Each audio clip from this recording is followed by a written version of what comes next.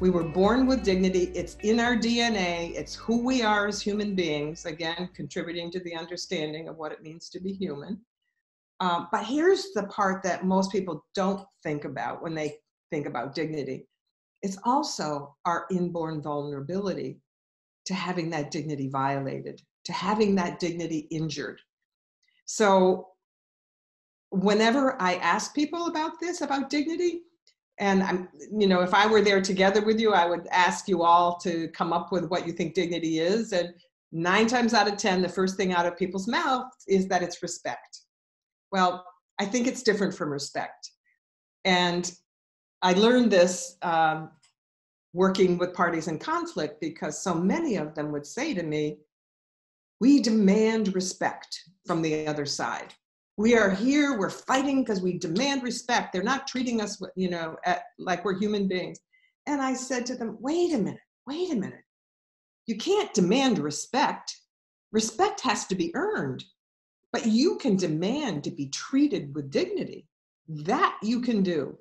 And that is something that we can work through in a conflict resolution process. We can learn how to treat each other with dignity Respect is a bridge too far when you've been killing each other. You have to accept that dignity is the way out of your conflict. It was like a couple of years after I wrote my first book that I was invited into the corporate world.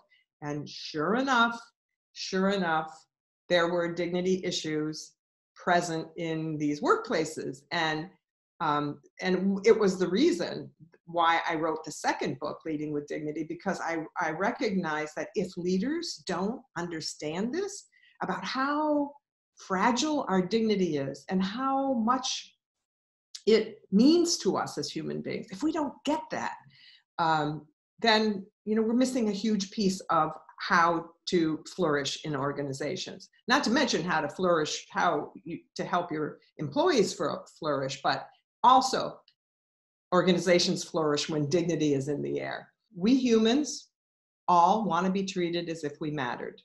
The second part is when we're not, when we're not treated with dignity, we suffer. And when we are treated with dignity, we flourish. So, this is really the basis of, of why I do what I do because I feel like I stumbled upon this deep truth about what it means to be human. And to me, this is something that any leader, whether it's in business or healthcare or education, no matter what, we have to leverage this. We have to understand this, make this part of our repertoire.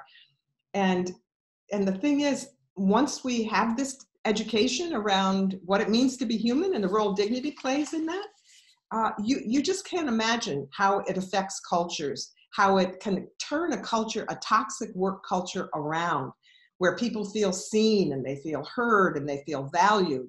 It's just remarkable. But here's the thing what I also discovered, even though that simple truth just makes sense and we should leverage this as, as leaders, the other thing I discovered when working, going into the corporate world, working with people on this, the ignorance gap around it is enormous.